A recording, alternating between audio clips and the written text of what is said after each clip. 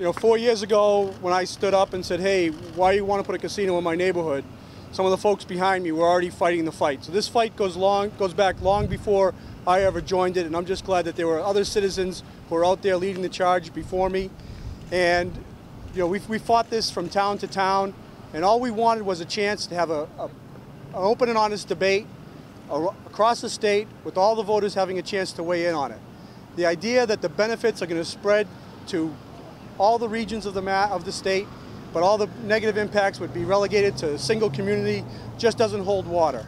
And this decision proves that the people's voice matters.